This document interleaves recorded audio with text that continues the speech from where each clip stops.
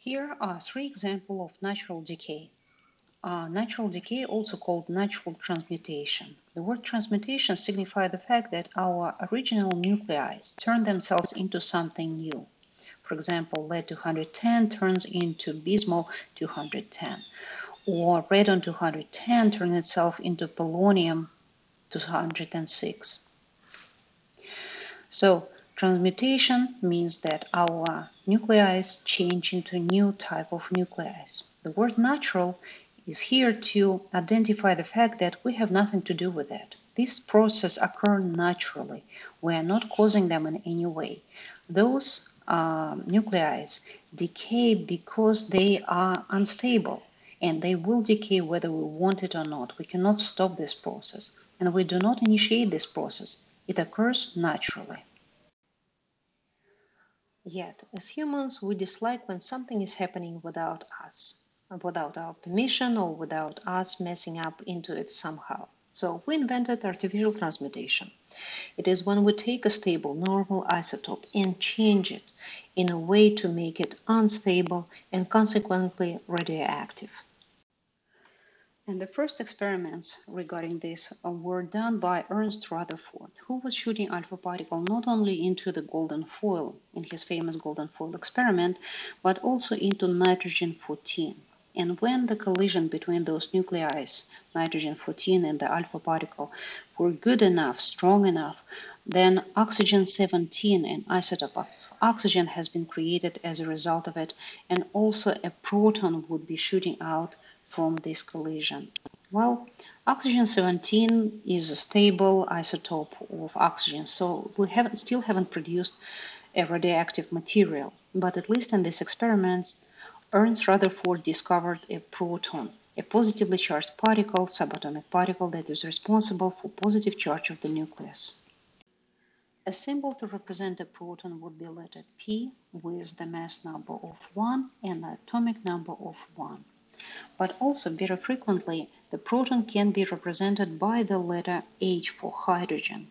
Since the nucleus of the most common isotope of hydrogen is just a proton, we can write symbol of proton as hydrogen with the mass number 1 and the atomic number 1.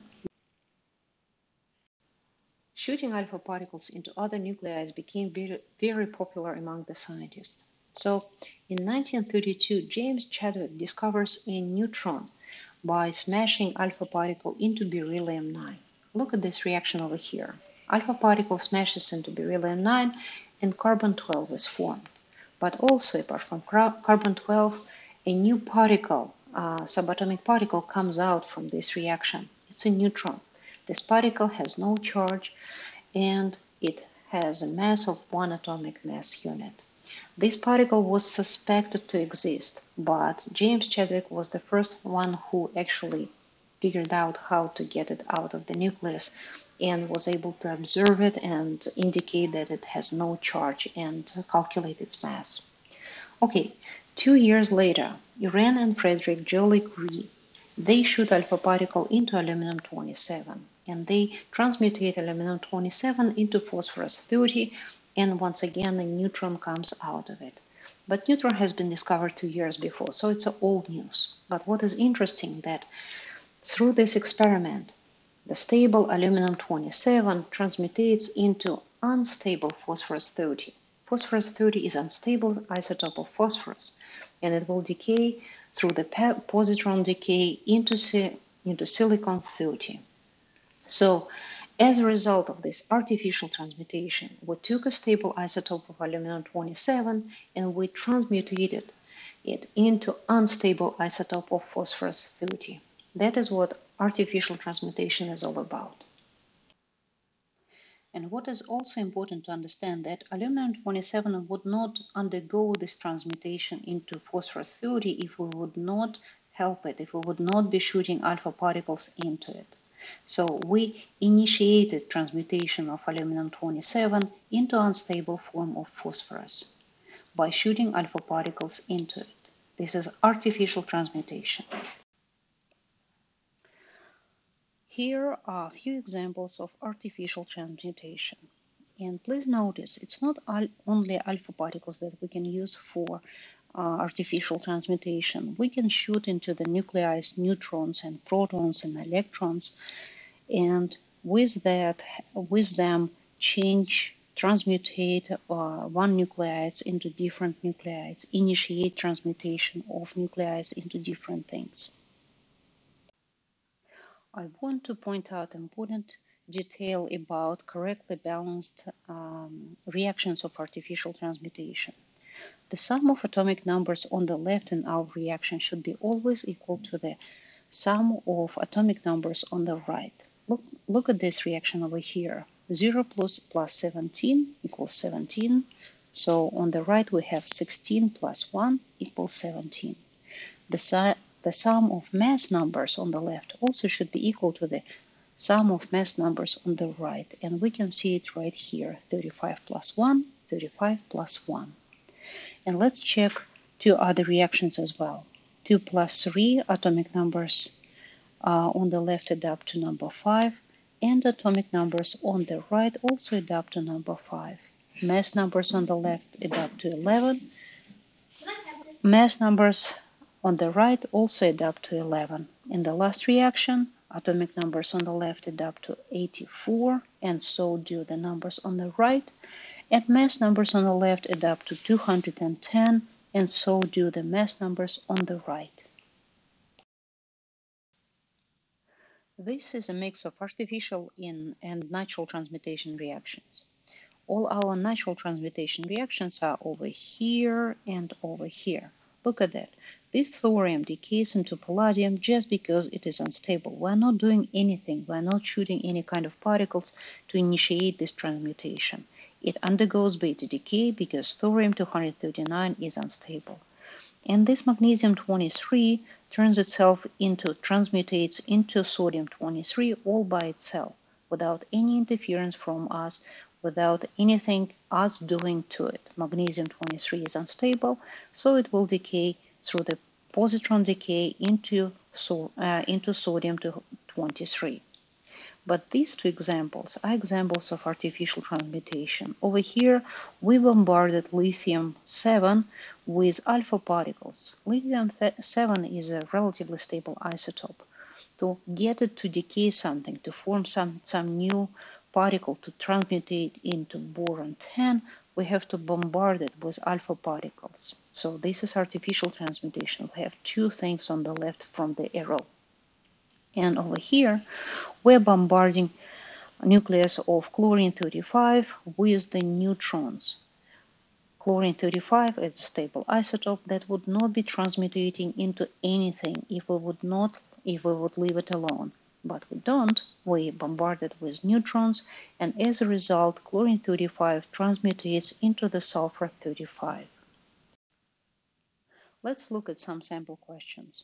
So here's one. The particle represented by X. We need to figure out what kind of particle it is. Well, we know that the atomic numbers on the right adapt to number 5, and so should adapt atomic numbers on the left. So this number over here got to be 4 and the mass numbers on the right add up to 10 and so should the mass numbers on the left. It means that the top number over here is 9. We have two answers that fit the description, this one and this one. And we will choose number 2 because beryllium is element number 4. Lithium is element number 3, so this one over here is completely incorrect representation of uh, isotope notation for lithium. Lithium cannot have atomic number 4. Another question. Which nuclear equation represents a natural transmutation? So natural transmutation means that uh, our transmutation occurs spontaneously without us messing up or doing anything to it. And it's obviously this reaction over here because uranium, being unstable, transmutes into thorium and alpha particle released in the process. In all other reactions, we are clearly messing up with the aluminum and nitrogen. We are shooting alpha particles into them. We have two parts to the left side of the reaction, which usually means that we are looking at artificial transmutation. Here we need to identify which equation is an example of artificial transmutation. And the first equation seems to be uh, seems like an artificial transmutation. Beryllium is attacked by alpha particle and it transmutes into carbon 12 and neutron released in the process. The rest of the equations are not even nuclear equations. They are chemical equations. We do not see any transmutation. We do not see one element turning into another. All elements that we see on the left present in the appropriate amounts on the right. So there was no transmutation, natural or artificial, happening in this in the rest of the reactions. Those are chemical reactions where there is no change to the nucleus. Atoms are just rearranged. Which equation is an example of artificial transmutation? Well, we can notice that out of these four reactions, three have only one thing to the left of the arrow. So it means that those nuclei that are represented here, carbon 14, uh, radium 226 and uranium 238, they are unstable all, all by themselves. They undergo this transmutation all by themselves without anything initiating that transmutation. They undergo transmutation because they are unstable. But in the reaction number two, we see that aluminum 27 is attacked by alpha particle. So it means that we are artificially inducing a stable isotope of aluminum 27 to transmute into the phosphorus 30. Which equation represents a transmutation reaction? Well, if we look at the possible answers, we can cut off uh, two bottom reactions because they are not transmutations, they are not nuclear reactions, they are chemical reactions. All the atoms that we see on the left as reactants are present in on the right as products. So none of the nucleus undergo nuclear decay and change into some new atom. At the top reaction, we see nuclear reactions. But in the first one, we do not see any change in the nucleus. Uranium-239 emits gamma rays, but it does not change into anything, uh, anything new. It stays as uranium-239. So there is no transmutation. So this is not our answer. The only transmutation here is carbon-14 decaying through the beta decay into nitrogen-14. That's transmutation. And over here we need to figure out the missing particle based on our understanding of how, well balanced, correctly balanced reaction of transmutation should work. Okay, we know that the atomic numbers on the left here add up to number 9. And so should these two atomic numbers. They should add up to number 9. So we expect this one to be 1. The mass numbers on the left add up to 18. And since we expect the mass numbers on the left, on the right also add up to 18, we expect this one to be over here. So X is apparently a proton. The proton is the only particle that has mass number 1 and atomic number 1. The same logic will help us uh, with the uh, reaction at the bottom. So the sum of atomic numbers on the left is 16, and so should be the sum of atomic numbers on the right. So we expect atomic number of X to be 15, which help us to figure out that this element is phosphorus and the mass number of this phosphorus expected to be 32 because mass numbers on the left add up to 33 and so should mass numbers on the right. And over here we have a reaction of artificial transmutation of beryllium into lithium-6 and let's see what particle helps beryllium to transmutate.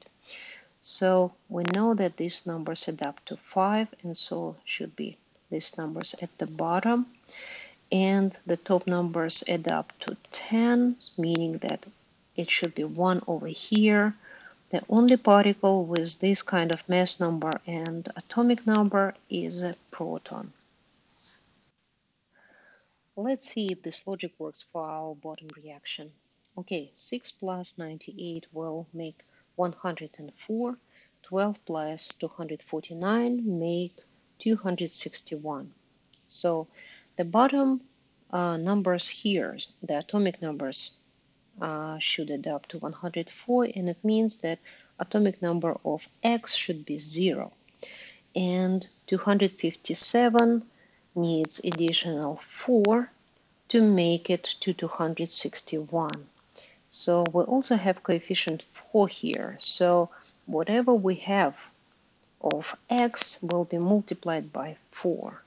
So 1 at the top of the x multiplied by 4 will give us exactly 4 atomic mass units that is needed to match the mass numbers, sum of the mass numbers on the left.